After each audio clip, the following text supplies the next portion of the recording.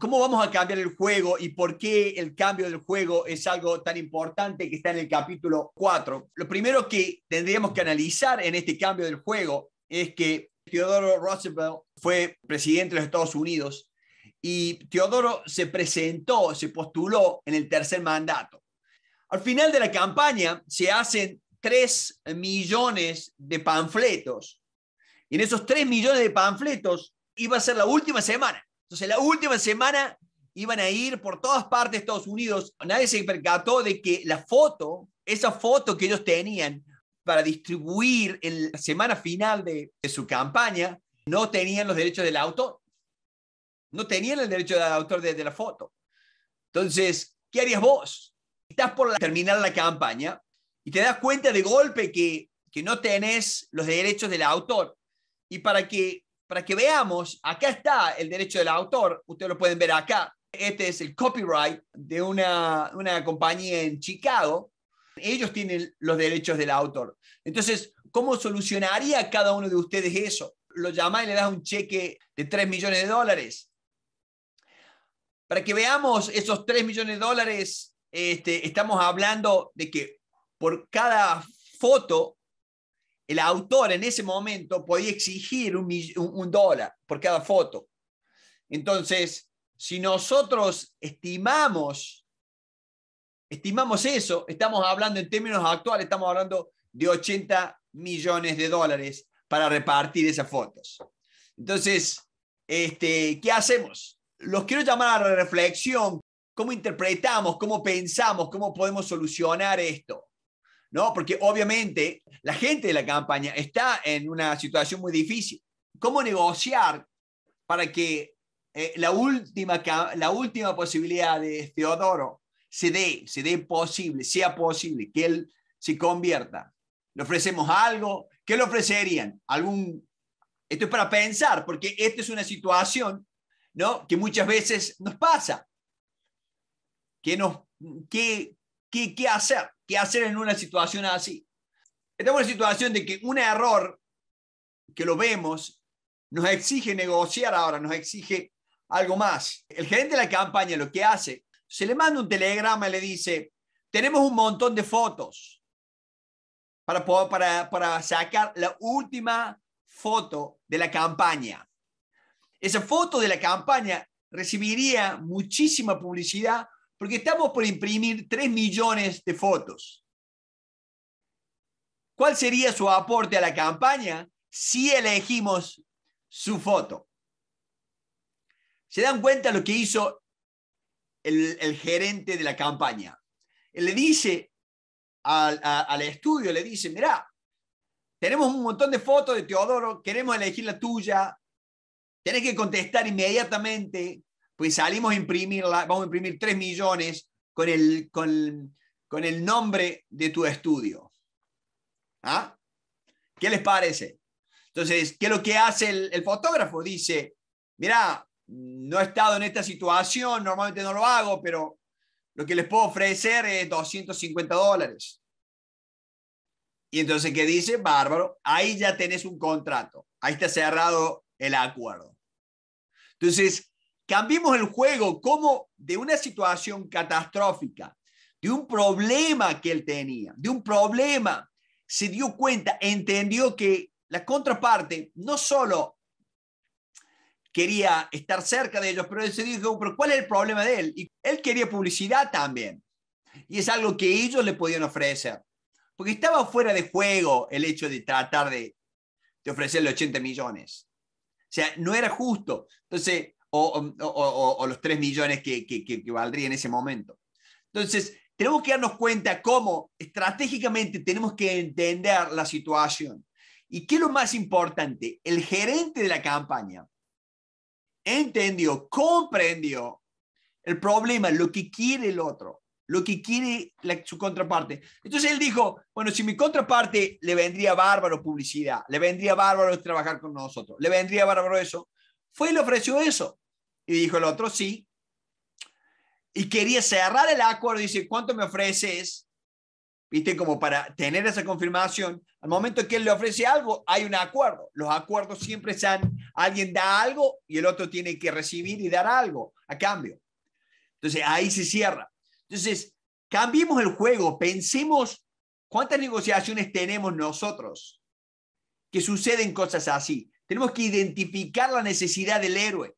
Él identificó, por eso fue que él logra ese acuerdo. Tenemos que identificar, tenemos que reconocer los recursos, tenemos que ayudarlo a que supere lo que él quiere, sin que, sin ver nuestros miedos.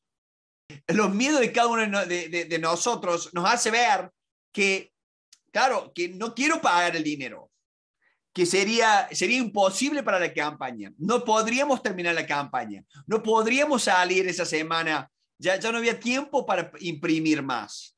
Los miedos nos nublan. Los miedos a, qué puedo hacer, cómo puedo manejar esta situación. Entonces, este, ustedes se dan cuenta cómo cuando nosotros realmente la pensamos, empezamos, em, empezamos a estudiar, empezamos a trabajar de eso, podemos ver eso, podemos ver otras soluciones. Eso es cambiar el juego. Eso es lo que vamos a ver hoy y eso es lo que quiero discutir con ustedes. Quiero que, pero vamos a participar todos pues tenemos, eh, yo creo que es, eh, eh, es muy importante que podamos participar y que podamos identificar la necesidad del héroe, la necesidad, cómo reconocer, cómo poder ver los recursos que yo tengo. Que imagínense el gerente de la campaña. ¿Qué recursos tenía? Nada. No, no, no, no había forma. Pero utilizó algo muy importante este, para, para sacar adelante y para poder terminar con la campaña que lo hicieron y entregaron los 3 millones de fotos. Entonces, analicemos eso y yo les pido una cosa, que cada uno de nosotros escriba cuál es tu dolor, cuál es tu miedo al negociar. El hecho de, hecho de negociar te trae miedo. ¿Cuáles son? Miedo a no lograr un acuerdo, miedo a que el otro no te entienda, miedo a que no tenés dinero, miedo a que no tenés poder. ¿Cuáles son los miedos? Y les pido que cada uno empiece a escribir, que empecemos a escribir, que empecemos a escribir ahí. ¿Qué otros miedos, qué otros dolores, el dolor que yo tengo?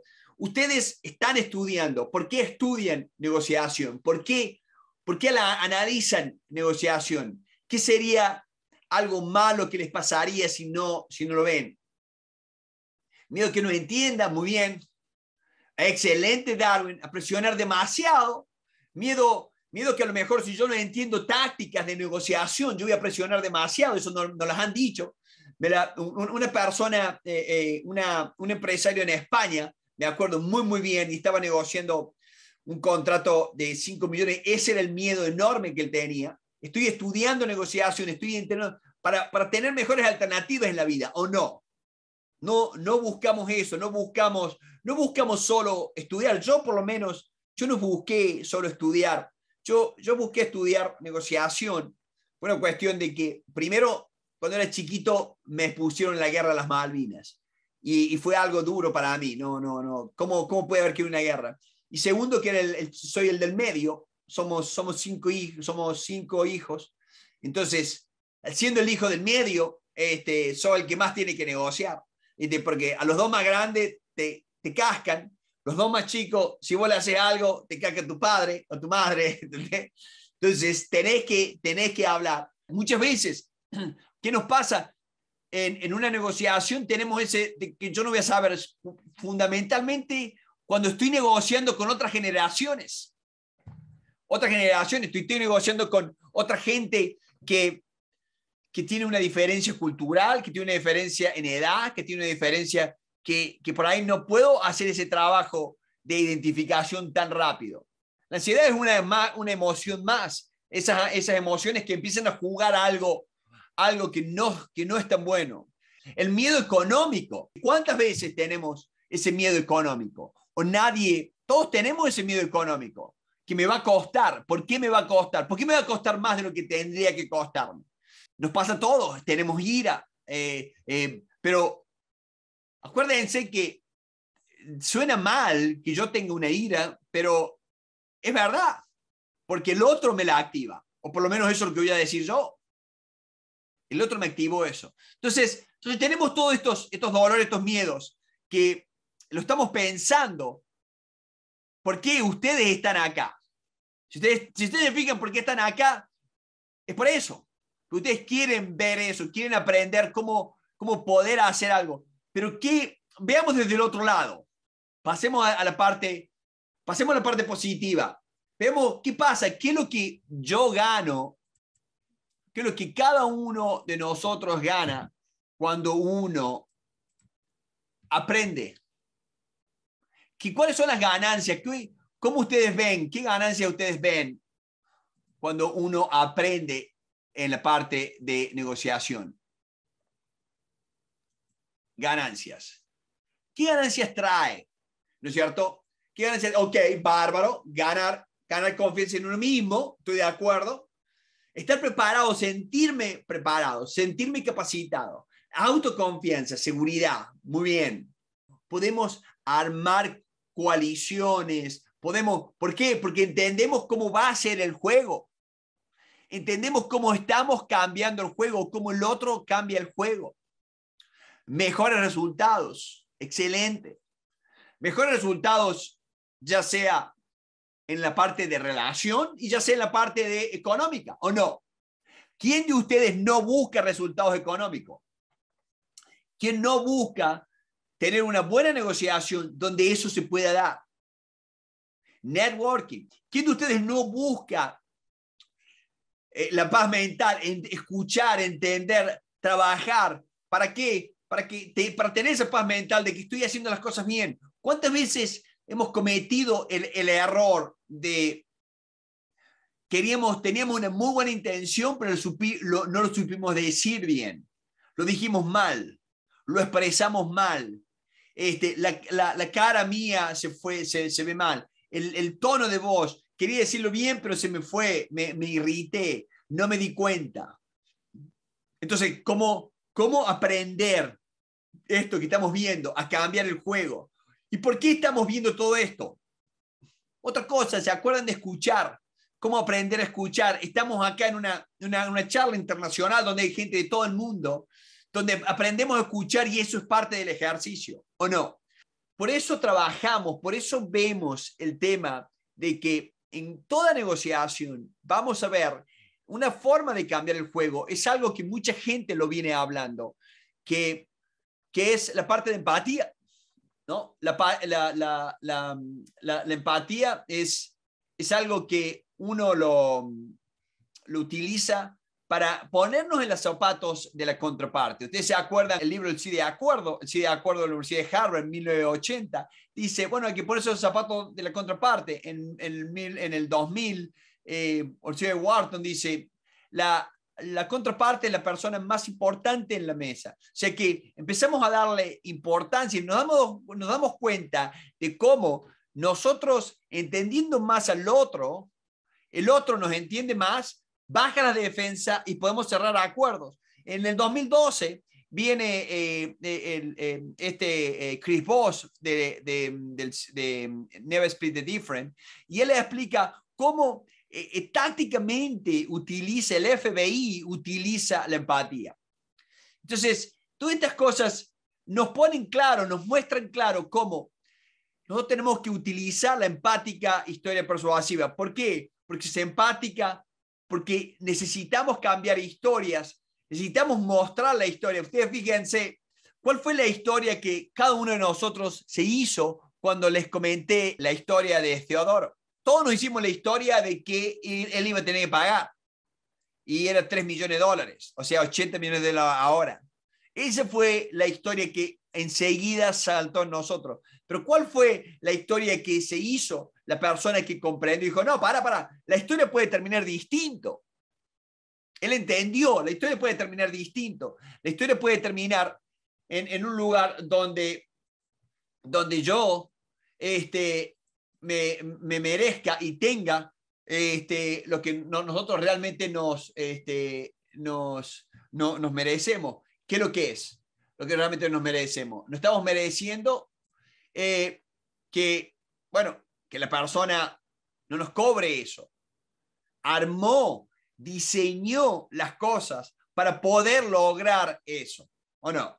Ustedes lo vieron, cambió el juego. Entonces, a eso le doy. Estamos, tenemos un montón de dolores, un montón de desafíos, un montón de miedos, pero también tenemos una gran, una gran cantidad de ganancias cuando nosotros logramos eso. Cambiemos, estudiemos, cada uno de nosotros tiene que estudiar cómo ve la perspectiva, cómo vemos, el, cómo vemos, por qué vemos lo que vemos. Ustedes, si ustedes escucharon, este, me encantó cuando uno dice, yo puedo tener una ventaja que yo creo que la tengo, pero no la tengo. ¿No? Me encantó, uno, uno de ustedes lo dijo. Entonces, analicemos cómo nosotros vemos y cómo nosotros trabajamos con esa parte, cómo nosotros trabajamos, cómo nosotros vamos a escuchar en una forma activa al otro. Porque eso me da la, la diferencia. La diferencia la obtengo cuando yo logro eso, cuando yo logro trabajar de forma tal de que yo me puedo poner a escuchar y realmente, ¿para qué yo escucho? Antes decíamos, no, yo tengo que escuchar porque, este, porque sí, hoy en día vamos a ser claros, tenemos que, escuchar porque mientras más yo escuche al otro, más fuerza el otro me da a mí para que yo sea escuchado. Ahora empezamos a entender mejor toda esta parte, la parte psicológica. Empezamos a entender que emocionalmente, si vos me escuchás a mí, yo tengo ganas de escucharte. Y si yo te escucho, yo te comprendo. Que es uno de los primeros pasos de que hablamos de la empática historia persuasiva. La empática historia persuasiva, el primer paso es, es simple, es, es trabajar en, en una forma empática trabajar en esta parte, en comprender al otro. Hay veces que se invierte mucho más tiempo que cualquier otra parte. Esto es pequeño, pero es enorme. Si yo comprendo al otro, el otro baja las defensas, no se bloquea.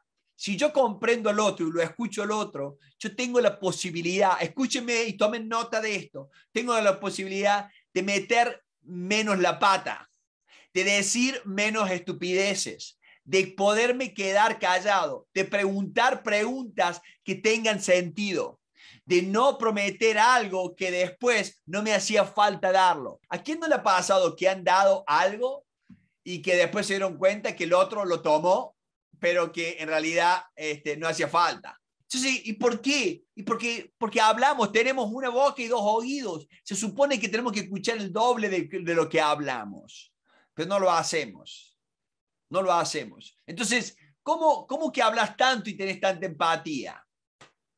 ¿Ah? Entonces, pensemos en eso. Les quiero que, quiero que realmente hoy cambiemos ese juego, que estudiemos esa parte de cómo, si yo quiero eliminar ese dolor, si quiero estar más preparado, si quiero tener esto, si quiero eso que todos ustedes lo dieron, si quiero eliminar eso, ¿qué estoy haciendo? Tengo que apoyarme en un proceso en un proceso que me dé la tranquilidad de que voy a avanzar en esto.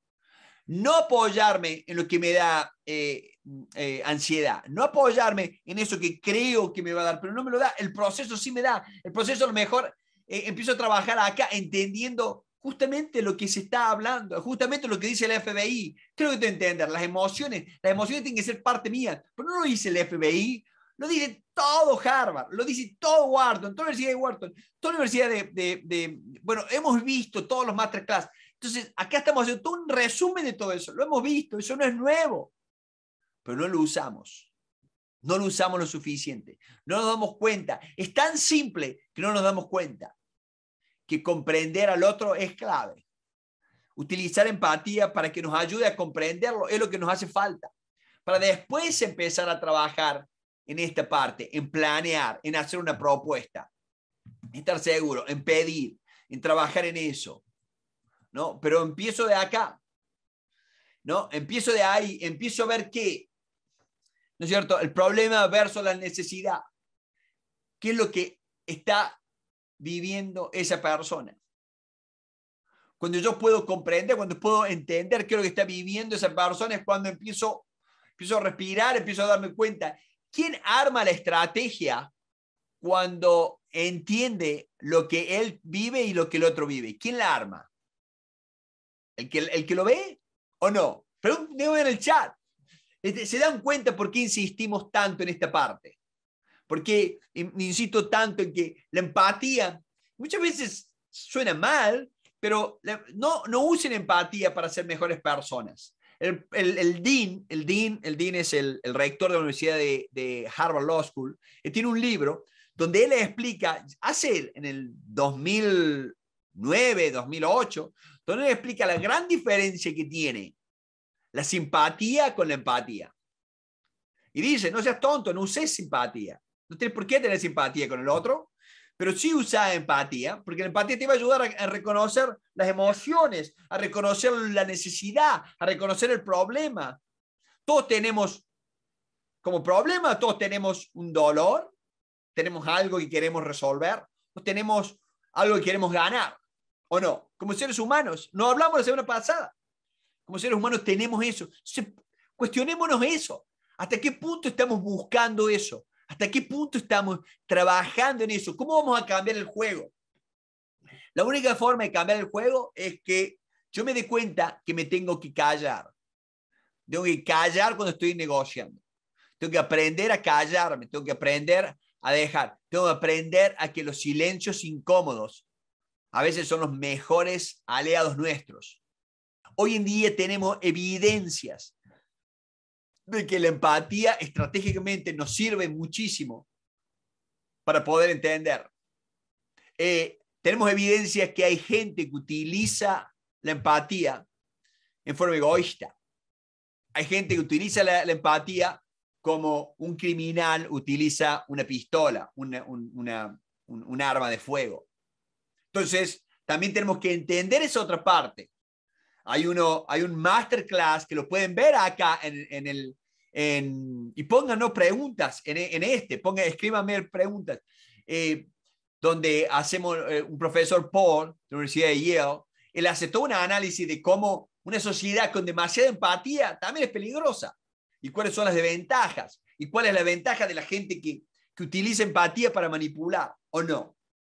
Todos nos damos cuenta acá, ¿no es cierto? Todos nos estamos dando cuenta que la posibilidad de usar empatía para la manipulación es altísima. Por eso él hace la distinción. Cuando estaba escribiendo el libro, una de las cosas que, dediqué mucho tiempo es analizar profundamente cuáles son cuál es, cuál es la, la, contraparte de esto. Imagínense si yo estoy eh, em, peleando y luchando por la importancia de la empatía, no quiero quedar pegado con un, con un tema tan fuerte. Pero la verdad es que eh, en todo hay, está ese riesgo. Entonces pensemos en eso. Cómo yo entiendo a la persona es justamente eso lo que yo quiero. Más eh, que use la palabra que yo quiera, empatía, no sé, lo que quiera, tenés que comprender, tenés que entender, tenés que trabajar para que la persona no solo te comprenda, no solo, no solo lo comprenda, sino que se sienta comprendida. Y ahí está una de las mejores claves saber utilizar la información en la mesa para que ambos estemos más cómodos. Para que ambos, ¿qué es lo que vamos a hacer ambos? Vamos a empezar a preparar opciones. ¿O no? Vamos a empezar a preparar opciones. Opciones eh, eh, que, tengan, que sean una propuesta, propuesta de mutuo beneficio. Vamos a empezar a trabajar en eso. Y yo con eso quiero este, hacer un hincapié y preguntarles a cada uno de ustedes, ¿cómo ustedes se sienten cuando están en una negociación? ¿Cómo se sienten con esto? ¿Les gusta tener que ir a escuchar? ¿Les gusta tener que ir a usar empatía? ¿Les gusta? ¿Cuál es la parte? ¿Qué cosas ustedes sienten que está bajo control de ustedes? ¿Ustedes sienten que tienen posibilidad de que controlar al otro? o esto está fuera de control? ¿Queremos controlarlo? No, no nos interesa controlarlo. ¿Podemos controlar el resultado o, no, o podemos controlar el proceso? Son preguntas que nos van a ayudar a cada uno de ustedes como profesionales, tienen que contestársela y tienen que tener una opinión a este momento. Eso es cambiar el juego. ¿Qué preguntas ustedes se hacen cuando el otro tenga objeciones? ¿Cómo van a ver las objeciones? La objeción es algo que nos molesta a todos, pero ¿cómo trabajamos con las objeciones? ¿Cómo empezamos a ver y entender que las objeciones son elementos que se van a aparecer en la negociación? Y me voy a empezar a preparar, ¿o no? ¿Quién de ustedes no se prepara para las objeciones? ¿Quién de ustedes no trabaja porque sabe que va a venir objeciones? Y si viene esta objeción, trabajo acá, hago esto, hago lo otro. ¿Quién de ustedes no tuvo inquietudes antes de ir a una negociación? ¿Y cómo ven esas inquietudes? ¿Cómo ven esas cosas que, que nos ponen? ¿Por qué? Porque tuvimos una mala experiencia. Todos tuvimos una buena experiencia y todos tuvimos una mala experiencia. El precio. ¿Por qué? Porque tenemos ese miedo a que si yo pido, yo tengo una influencia negativa.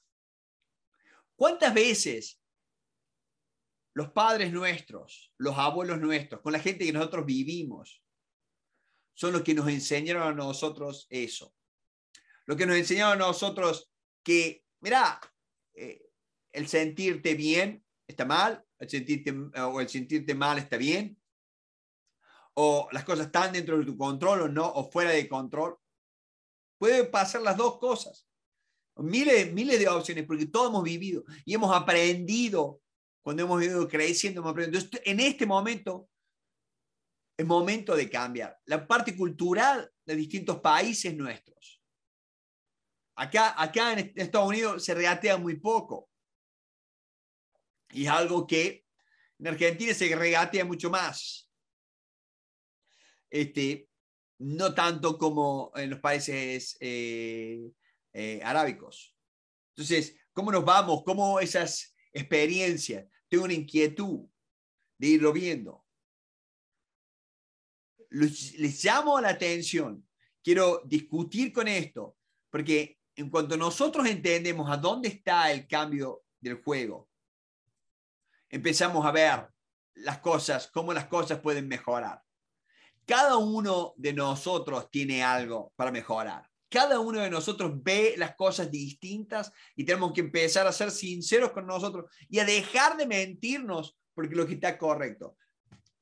Este libro, cuando yo estaba escribiendo este libro, eh, uno de los primeros editores lo tuve que echar porque me, me cambiaba las cosas, porque suena mal, porque la, eh, él es muy católico, escribe para, para el Vaticano entonces, cosas que yo estaba diciendo de manipulación, de, cómo utilizar empatía, de cómo utilizarla para, cómo buscar ventaja, no, eso está todo mal.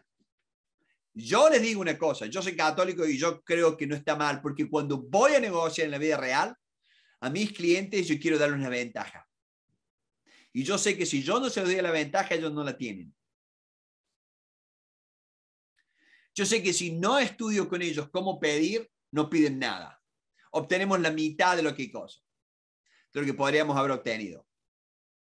Yo sé que si no trabajamos en que el no es algo que va a salir y que está bien y que ahí empieza la negociación, es donde no se dan cuenta. Todos esos puntos son claves porque nos han enseñado a que en muchas, en muchas casas, mi madre me enseña que si yo pido mucho, está mal. Tienes que conformarte. Eso es una mentira y yo no lo voy a enseñar a mis hijos. Porque hay que ser estúpido para darse cuenta de que si yo pido algo que me merezco, por lo menos lo pido, dejarlo al otro que me diga que no. Porque tenés miedo.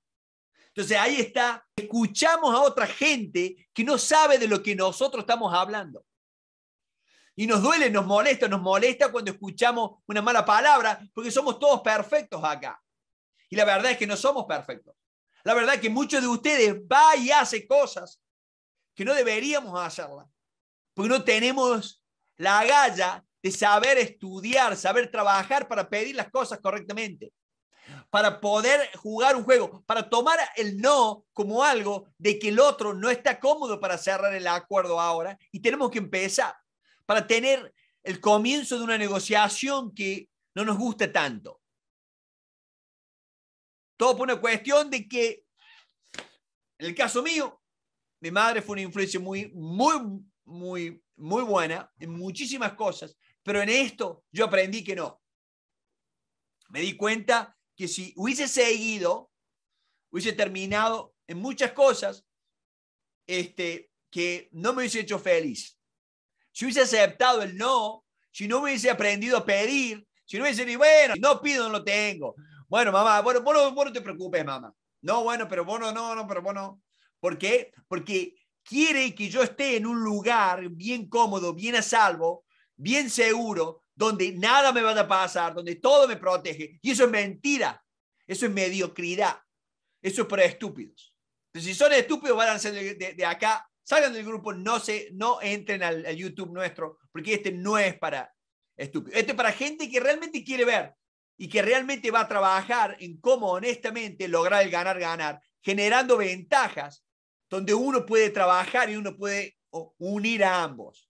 Porque no está en ser estúpido, en ir y darle al otro lo que el otro no se merece. Eso es vago. Y muchas veces nos, damos, nos da miedo. Entonces tenemos que cambiar el juego. Tenemos que aprender a cómo ver, cómo ver el juego, cómo podemos ver cómo lo que está pasando el otro y cómo podemos entender y cómo podemos realmente hoy empezar a usar empatía para comprender el juego del otro. Y no dejar de que yo tengo que ser tan simpático que soy el más tonto del, grupo, que soy el, el último estúpido en la empresa porque no tengo los resultados que realmente podría tener si me pongo más serio a tener conversaciones difíciles, a saber que el no ya lo tengo y tengo que empezar a trabajar en cómo conseguir el no, porque es lindo pedirle a alguien para que me diga que sí. ¿Quién no está de acuerdo conmigo? Es lindo pedirle a alguien. Es lindo decirle, Alberto, decime tal cosa, qué sé yo, para que Alberto me diga que sí. Oh, bueno, yo me siento todo grande, todo grande. Entonces tenemos que tener cuidado, tenemos que tener mucho cuidado con esa gente que nos enseña cosas que no están capacitadas para enseñarnos. Y, y, hay, y hay arrolete de esos. Son la gente que te da esos consejos gratis es porque son gratis. Uno tiene a otra persona a quien dárselo y te lo da a vos. Que tratan de proteger, de sobreproteger y no te deja. Que realmente cuando ustedes entiendan estos conceptos, cambiemos el juego. Cambiemos el juego. Y si no te gusta, y bueno, no, no seas vos la persona en ir a liderar. Deja que alguien lidere por vos. No seas vos la persona porque no sabes hacerlo. Tienes que saber pedir, tienes que saber enfrentarte, tienes que saber prepararte, tienes que entender, tienes que estudiar las cosas de distintas perspectivas para poder lograr algo. Y es muy duro, es muy difícil. Las conversaciones no son las mejores. Pero tenemos que empezar, tenemos que empezar y tenemos que empezar hoy. Cambiemos el juego. Ese es el mensaje de hoy. Por eso yo les dije, ¿Cuáles son esos dolores que ustedes tienen? Y es muy lindo escribir, escribir, escribir. Ahora léanlo, piensen en lo que dijeron y cómo ustedes lo van a cambiar ese dolor. Y vean lo que ustedes quieren ganar. Quieren ganar mejores acuerdos, quieren ganar la parte económica. ¿Cómo es que no van a querer ganar? ¿Cómo no van a querer ganar la parte económica? Me estás jodiendo. La parte económica es importantísima. No es la cosa más importante, pero la parte económica es lo que va a ayudar a tu hijo, lo va a ayudar a tu señora, va a ayudar a, todo el mundo. Porque nosotros medimos todo. El esfuerzo se mide a través de la parte económica. La parte económica no te da felicidad, no, yo no estoy diciendo que te dé felicidad, yo estoy diciendo que lo último, que es el último fin, pero si estás en una negociación con alguien que por lo menos te está juntando es para un, un tema económico, ¿por qué no? Es como, es como decíamos al principio, eh, vamos a jugar un partido de fútbol y porque yo sé que el otro tiene un jugador que está rankeado mejor que todos los otros, eh, no, pará, vos lo, vos lo tenés a Messi. Vos lo tenés a Messi, así que saquen un jugador. Este juega con 10 y este juega con 11. No, porque lo tiene a Messi. No, porque lo tiene a Ronaldo. No, porque lo tiene Neymar. No, te lo tiene Neymar, entonces saquen otro. Y no, estaría mal eso. ¿O no? Está totalmente mal. Entonces, lo mismo les digo a ustedes. Ustedes ¿Están jugando con un jugador menos? ¿Son tan estúpidos que juegan con un jugador menos? ¿Son tan estúpidos que se creen la propia mentira de que utilizan empatía para, para ser más sinceros? No, veamos la verdad acá, veamos la verdad. Tenemos que utilizar empatía para descubrir qué necesidad y qué problema tiene el otro, lo antes posible. Mientras más rápido aprenda, mejor me va a ir, mejor le ir a mi empresa y mejor ustedes, cada uno de ustedes, con honestidad, va a poder trabajar en esto. ¿Y esto es polémico? Claro que es polémico.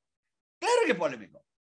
No, porque si esto, como hubo una persona en, en Facebook que me atacaba, decía, si lo que vos estás diciendo lo escuchan los criminales, vamos a tener criminales eh, sofisticados. Y sí, y los criminales no compran balas, no compran eh, eh, cosas, pero ¿cuál es el problema? ¿Que lo escuchen los criminales o que lo escuche la gente buena para que le pueda hacer frente a los criminales?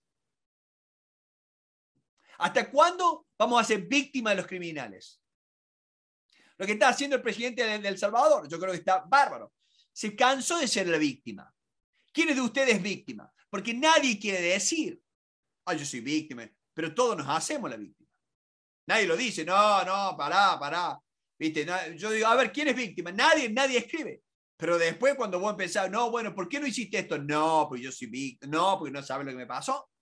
No sabes lo que me hicieron. No sabes lo que. Somos todos, somos todos las somos los mejores para imaginar y para armar la parte víctima, porque no cambiamos el juego, porque no nos animamos a utilizar empatía para descubrir, porque nos creemos que todo, que soy yo, que esto, que lo otro, que tenemos que ser simpáticos. No te hace falta ser simpático, te hace falta entender, comprender. Cuando yo hablo comprender el dolor y el placer del otro, porque puede tener un dolor para solucionar ese problema, estaba buscando un placer, ganar algo más. Hay dos cosas ahí que está. El ser humano lo hace. Si no, no tiene ni necesidad de negociar con vos. Si no, no le calentás nada, no le, no le importás. Y la verdad es que vos sos la persona que menos le importa al otro. Es la verdad, es la verdad, es la verdad. Es duro, es duro. En, en marketing ¿Viste esas empresas que se creen que son tan importantes que el cliente tiene que entenderlo? Es mentira, es mentira. El cliente le calienta tres pitos al otro. El cliente quiere solucionar su problema. Ahí es donde nos tenemos que focalizarnos nosotros. Y tenemos que dejar de mentirnos a nosotros mismos y empezar a trabajar, a decir, bueno, para, seamos más inteligentes. ¿Por qué América avanza tanto? ¿Por qué muchas cosas se lo va a criticar? Pero cuando vos ves, cuando vos entendés cómo trabajan y qué, y cómo, y qué serio que son profesionalmente, te, das, te empezás a dar cuenta. ¿Qué está haciendo China? China está trabajando muy bien. ¿Qué está haciendo Inglaterra? ¿No? Canadá, México. México está... Eh, eh, y bueno, pero te das cuenta que esta gente realmente dejaron de, dejaron de mentirse. Y los líderes son líderes y vienen y se sientan. Y no hacen nada malo, sino que saben pedir saben pedir y saben lo primero que te topas con un pedir. Porque por lo general, gente como mi madre, lo primero que quiere es, no pidas para que te digan que no. ¿No? ¿O no? ¿Cuántos de ustedes no piden para que le digan que no? ¿Cuántos de ustedes? Les puedo asegurar que si nos ponemos seriamente, si empezamos a ver casos antes, yo antes siempre pedía para que me digan que sí. La arreglaba, la dibujaba, todo, pero ¿cuál es el miedo? No, no me digas que no. No me digas que no. No, me estoy tirando al fracaso. Mentira. Eso es mentira, eso es de los 80. La negociación empieza. El FBI lo está diciendo. Todo el mundo, hoy en día nos damos cuenta, tenemos que cambiar el juego, tenemos que aceptar el no. Tenemos que aceptar, empezar a trabajar con ese no. Tenemos que aceptar nuestros miedos. ¿Por qué? Porque es simple. Yo los digo todas las clases todas las masterclass, perdón. Pensamos en el resultado y tenemos que pensar en el proceso. Un no más es como una mancha en el tigre. ¿Qué le hace al tigre o al leopardo? No le hace nada. Una mancha más es parte de eso. El no, en un proceso, no le hace nada. Es una, es una uno más. Yo tengo que seguir trabajando. Tengo que seguir trabajando. Pero el no, cuando yo estoy focalizado en esa ansiedad del resultado, me hace todo me destruye todo lo que estoy pensando. Entonces ahí sí me hace sentir mal. Me lo hace sentir mal, mal, mal. Y ahí es donde yo los desafío que hoy cambiemos el juego. Cambiemos a que a, tratar de pedir, a tratar de de, de movernos de tal forma de que el no va a ser el comienzo nuestro. Y estratégicamente pensar en que yo no tengo que conocer al otro para tener simpatía, tengo que conocer al otro para entender si lo que yo voy a ofrecerle le sirve. Y ahí, ahí entra la ética. Yo estoy de acuerdo con la ética profesional, estoy muy de acuerdo con eso, pero no estoy de acuerdo con que tengamos paradigmas culturales, que tengamos paradigmas de antes, que tengamos gente que nos dé, que nos aconseje sin entender lo que pasa en la vida real, sin entender lo que vivimos, lo que sufrimos, sin entender cuando yo tengo un jefe que es un hijo, un HP, no voy a decir más palabras, un HP, que lo único que hace es abusarte, lo único que hace es usarte, lo único que hace es cosa, lo único que hace es que se cree porque nació, porque la tuvo, porque compró la empresa, porque esto, lo otro, o porque es jefe de esto, por, lo que sea, él tiene el derecho de hacer esto, esto lo otro, y vos sabes que no, pero no te, da miedo decirle que no. Y te, quedas callado. Porque nadie te enseñó a decir que no. Y somos todos víctimas. ¿Y hasta cuándo? ¿Qué gran problema se armó con Putin? Nadie le dice que no. Es el hombre más rico del mundo. Putin vive en una casa de un billón de dólares y tiene a la mitad de Rusia esclavo de él. ¿Y quién le dijo que no? Europa, Canadá, Estados Unidos, le dijeron no, basta, basta. Y él mandó a matar chicos, mandó... Eh, no, no Pero la gente empieza a decir que no. Pero todo el mundo le tiene miedo. Hasta el expresidente de de los Estados Unidos, Donald Trump, le tiene miedo a Putin. Ahora está tratando de cosas, pero él le tenía miedo. Y Putin lo tenía, lo, tenía comprado. El hombre más rico que es eh, eh, increíble. ¿Por qué? Y bueno, pues trabajamos de esa forma. Entonces, el día de hoy, el mensaje de hoy es que si nosotros estamos cambiando y nosotros vemos, cada uno de ustedes dio y dijo cuáles son los dolores, cuáles son los miedos de negocio. Y cada uno de ustedes vio cuáles son las ganancias, las ventajas que nos da. Empecemos a ver cómo el proceso en el que nosotros empecemos a aprender ese proceso, empecemos a enseñarle este proceso a nuestros hijos, a nuestros sobrinos, a nuestros nietos. Empecemos a enseñarle de que lo más importante de una negociación es saber escuchar al otro, es saber entender, saber comprender al otro. No te hace falta hablar tanto, escucha, entiende, comprende. Tu propuesta tiene que ser diseñada en base a lo que el otro dijo, no en base a lo que vos querés proponer. Empecemos a trabajar. El no es parte más. El pedir es algo que se practica.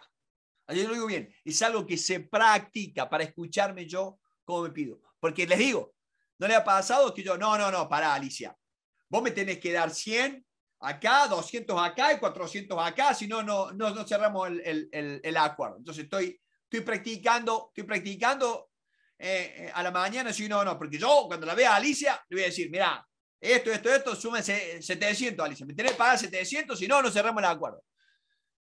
Y llega el momento, me dice Alicia, bueno, te doy 400. Oh, ok, ok. ¿Para qué practicaste tanto? ¿Viste? No, no, no. Y nos hacemos la cabeza. Nos da miedo. Nos da miedo y eso es lo que hoy descubrimos acá en grupo. Eh, una de las cosas claves ¿cierto? que quiero terminar es, escribamos la victoria nuestra privadamente. Acá sí utilicemos otra parte estratégica. Si yo celebro lo que yo logré, hay un 99% de que el otro cambie la implementación. Acuérdense, celebren, celebren, ganen algo al frente de tu señora che, una negociación, no, vos vas a buscar los chicos, no, yo voy a buscar, no, voy a buscar los chicos, no, bueno, está bien, yo voy. Bien, bien, bien, bravo, bravo, bravo. Van a ver, ah, bueno, ok, yo busco los chicos, pero vos quedas lavando los platos, ¿o no? ¿Por qué? Porque celebraste. Entonces, cuidado con eso. Y eso, esto, escribí La victoria de la contraparte, es de Bulen Uri. Lo pongo en mi libro, página 69. Explico por qué. Porque no solo lo pongo yo, lo ponen varios profesores. Esto es brillante. Y lo trabajamos siempre.